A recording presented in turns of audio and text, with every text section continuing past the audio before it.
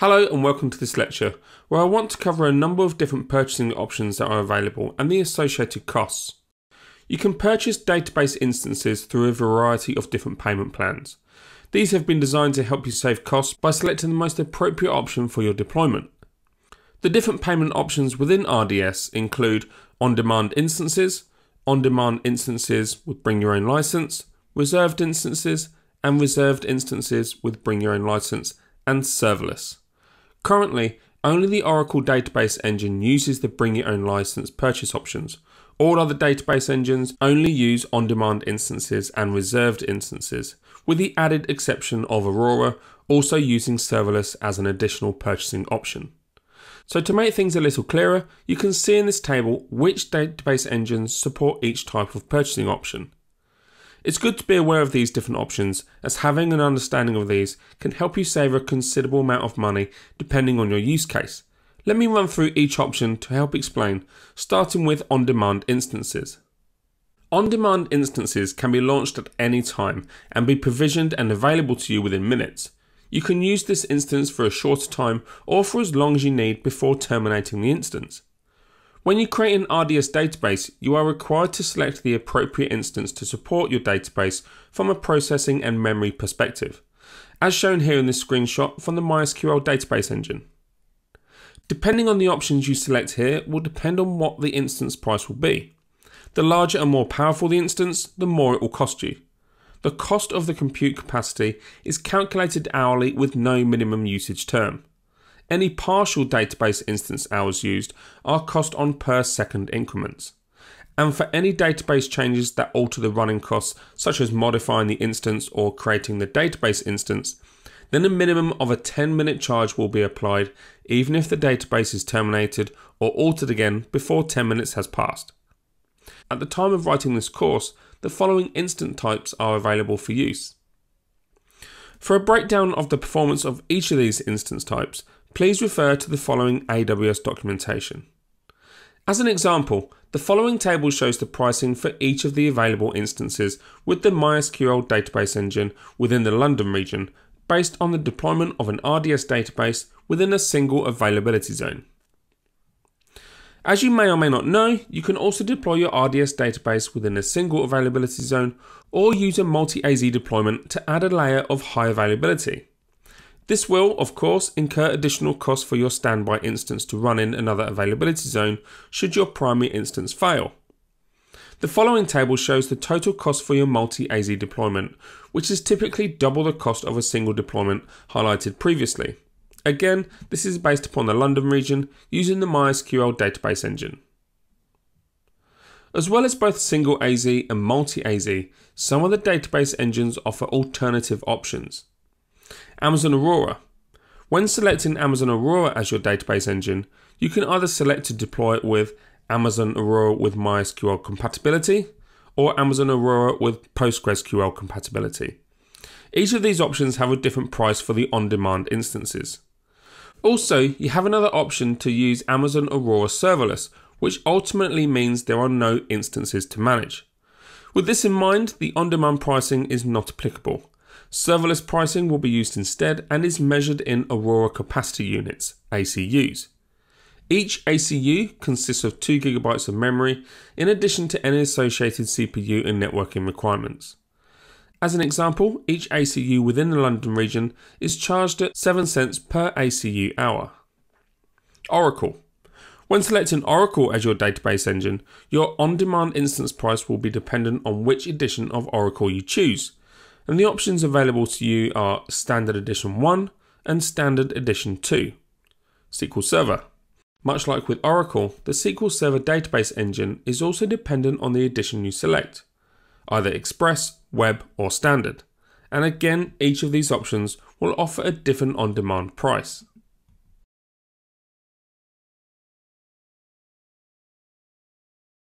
Currently, the bring your own license options are only available with the Oracle database engine. When using a bring your own license, you are able to use RDS with one of your pre-existing licenses that you already own. And in this instance, it would be one of your Oracle database software licenses. This differs from on-demand instances where your software licenses are already included in the price.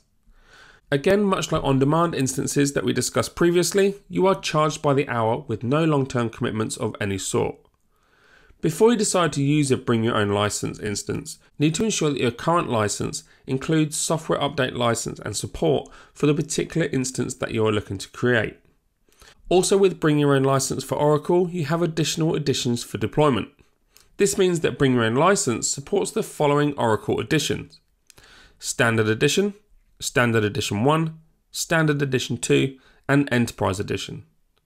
As you are only paying for the compute instances when using Bring Your Own License, there is no variation in prices between the different editions of Oracle being used. The following table shows the pricing for a single AZ deployment using Oracle with the Bring Your Own License option with T3 and M5 instances. The pricing for using this with multi-AZ will be double the prices that you see here.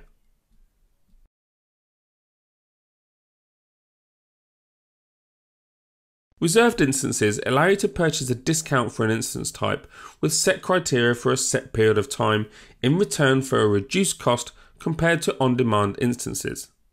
This reduction can be as much as 75%, and these reservations against instances must be purchased in either one or three year timeframes. Further reductions can be achieved with reserved instances depending on which payment method you select, and there are three options available for you. Firstly, all up front. The complete payment for the one or three year reservation is paid, and this offers the largest discount, and no further payment is required regardless of the number of hours the instance is used. Partial upfront. Here, a smaller upfront payment is made, and then a discount is applied to any hours used by the instance during the term. And no upfront.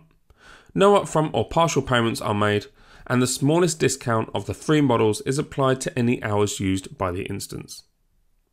The following is an example of the pricing for MySQL reserved instance pricing in the London region for the DBT3 medium instance type.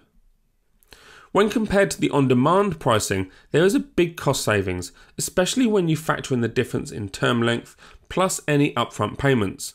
In this example, the on demand pricing for the same instance type is just over 7.5 cents per hour. Now, if you compare this to the three year term full upfront payment option of just over 3.5 cents per hour, that's a saving of just over 51%.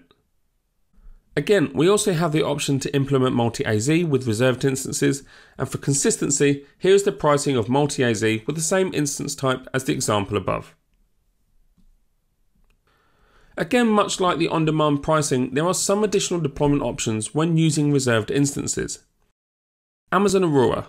When selecting Amazon Aurora as your DB engine, you can either select to deploy it with Amazon Aurora with MySQL compatibility or Amazon Aurora with PostgreSQL compatibility. And each of these options have a different price for the reserved instances. Oracle. When selecting your Oracle as your DB engine, your reserved instance price will again be dependent on the edition of Oracle you choose, either Standard Edition 1 or Standard Edition 2. And SQL Server, much like with Oracle, the SQL Server database engine is also dependent on the edition you select Express, Web, or Standard. And each of these options will offer different reserved instance prices. Reserved instance pricing with Bring Your Own License follows the same principles I covered earlier when discussing Bring Your Own License for on demand instances. At the time of writing this course, it's only available for Oracle and the same prerequisites apply, in addition to the same four editions being available Standard Edition, Standard Edition 1, Standard Edition 2, and Enterprise Edition. As you are only paying for the compute instances when using Bring Your Own License, there is no variation in prices between the different editions of Oracle being used. The following table shows the reserved instant pricing for single AZ deployment using Oracle with Bring Your Own License option for the T3 Micro instance. If you compare this to the pricing below, which shows the same instance types but using a standard reserved instance where the price of the license is included, you can see there is a substantial difference. Again, the pricing for multi-AZ will be double the prices you see here.